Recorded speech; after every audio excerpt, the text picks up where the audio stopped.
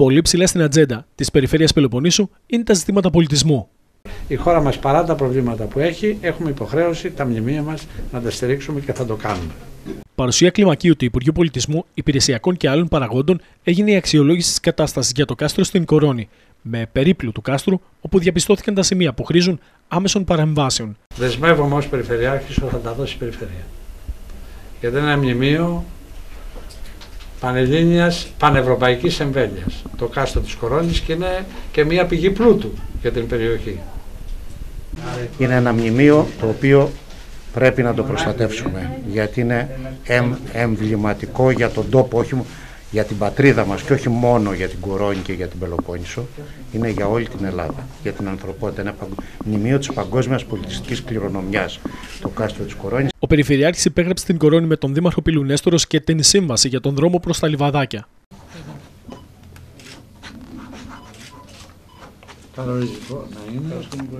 Έργο απόλυτης προτεραιότητας για την Περιφερειακή Ενότητα Μεσσηνίας και το κάστρο της Μεθόνη, με τον Περιφερειάρχη να σημειώνει πως θα δοθούν όσα χρήματα χρειάζονται από την Περιφέρεια για να εκπονηθούν οι απαραίτητες μελέτες για σωστικές εργασίες και εργασίες συντήρησης. Όσα χρήματα και αν χρειαστούν για τις μελέτες, αν δεν υπάρχει άλλη πηγή, θα τα δώσει η Περιφέρεια Πελοποννήσου. Στο σύνολο, αν δεν υπάρχει άλλη δυνατότητα.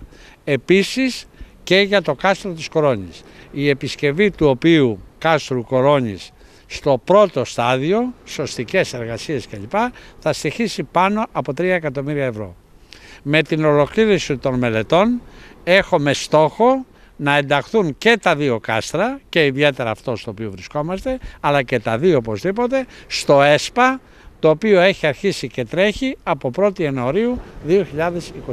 Σημαντική αρχαιολογική χώρη όπου μαζί με την περιφέρεια θα δρομολογήσουμε στο επόμενο διάστημα την συνεργασία που θα έχουμε προκειμένου καταρχήν να οριμάσουμε τις απαραίτητες μελέτες που θα πρέπει να γίνουν μέσω της προγραμματικής σύμβασης, μιας προγραμματικής σύμβασης η οποία ήδη έχει συμφωνηθεί σε συνεργασία του κ. Περιφερειάρχη και του Υπουργού, της κ. Μεδόνη. Είναι τα θεμέλια εκείνα που θα διασφαλίσουν στο διηνεκές τη σωτηρία τόσο του κάστρου της Μεθόνης όσο και του κάστρου της Κορώνης.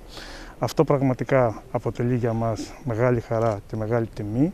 Πιστεύω ότι το έχουμε όλη υποχρέωση στους δημότες μας. Για μας εδώ τους ανθρώπους που ζούμε στη Μεθόνη το κάστρο είναι πάρα πολύ σημαντικό. Είναι σημείο αναφοράς μας και θεωρούμε ότι είναι επιτακτική ανάγκη να προσεχθεί ιδιαίτερα. Την ικανοποίησή του για αυτές τις εξελίξεις δήλωσε και ο βουλευτής Μεσσηνίας Νέας Δημοκρατίας Περικλής Μαντάς.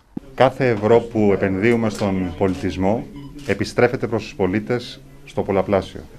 Αυτός είναι ένας χρυσός κανόνας, τον οποίο οφείλουμε όλοι μας να τον τηρούμε, για δύο λόγους. Ο πρώτος είναι για να προστατέψουμε την ιστορία μας, γιατί μέσα από την ιστορία αναδύεται η ψυχή του Έλληνα, αλλά και η ιστορία και η ζωή του Έλληνα και το μέλλον μας. Και ο δεύτερος βασικός λόγος είναι για να στηρίξουμε τοπικές κοινωνίες, οι οποίες είναι συνυφασμένες με τον τουρισμό, με τον πολιτισμό,